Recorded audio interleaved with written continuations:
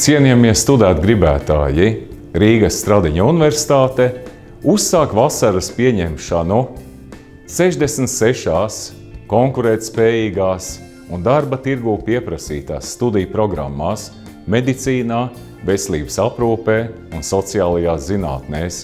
Mēs esam jau trešo gadu pēc kārtas reputācijas līderis Latvijas augstskolu vidū. Mēs piedāvājam augsta līmeņa studiju programmas, sakārtotu infrastruktūru, uz simulācijām balstītu apmācību un mācības ārvalstu un Latvijas docētāju pāraudzībā. Mūsu diploms jums atvērs visas durvis un sniegs labklājību gan Latvijā, gan ārvalstīs.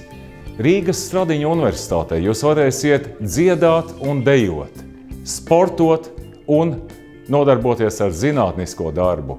Nāciet un mācieties Rīgas Stradiņa universitātē. Sniedziet dokumentus arī elektroniski, dokumentu pieņemšana līdz šā gada 13. augustam. Uz tikšanos!